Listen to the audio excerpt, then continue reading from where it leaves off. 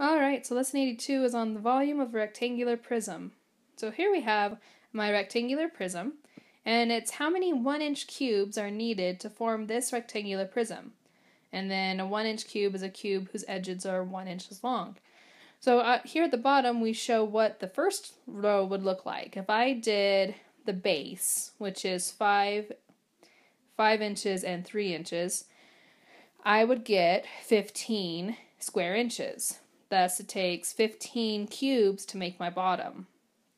Okay, so I know it takes 15 cubes to make the bottom of this prism. So now what I'm going to do is I'm going to multiply 15 cubes by my height. So I know how much the entire thing takes. So it's going to be 15 times by 4. Okay. And 4 times 5 is 20, carry my 2. 4 times 1 is 4, plus 2 is 6. So it would take 60 cubes to fill up this whole shape. So here we have what is the volume of a cube whose edges are 10 centimeters long. So if I was to draw this out, it would look like this just a little bit. So I'd have my cube. Poorly drawn cube. Let's try that again.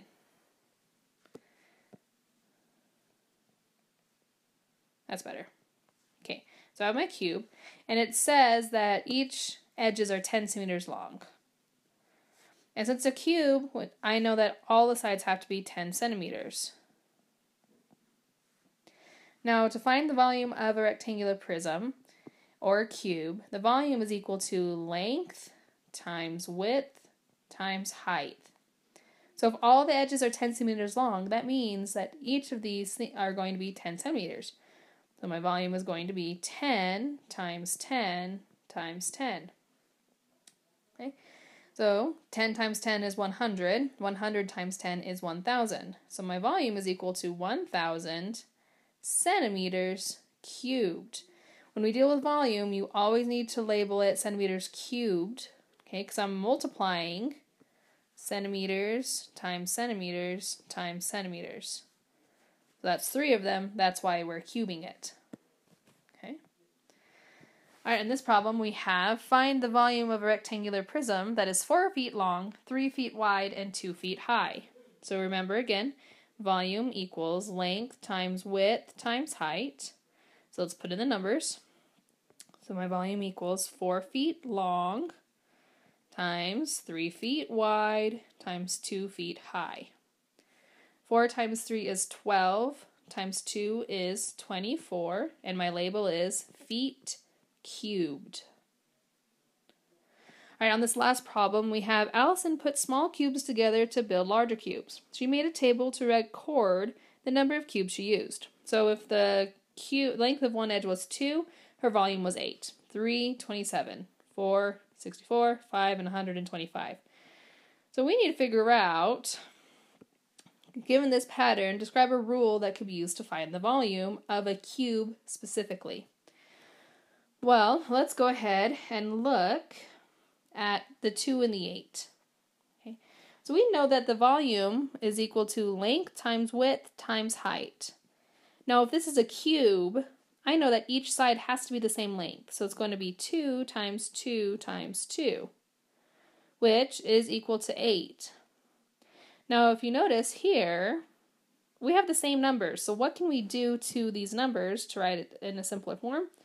We can say 2, 2 cubed. Volume equals 2 cubed.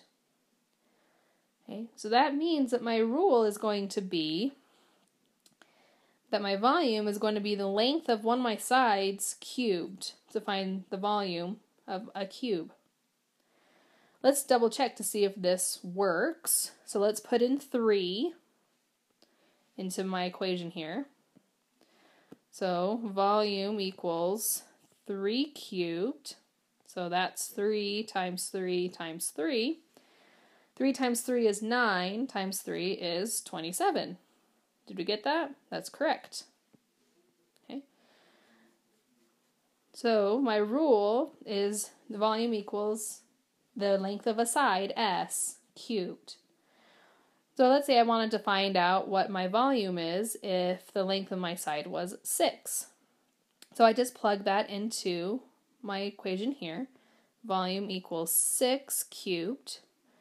So that's 6 times 6 times 6. 6 times 6 is 36. And then I do 36 times 6, which I do not know off the top of my head, so I'm going to go ahead and solve it.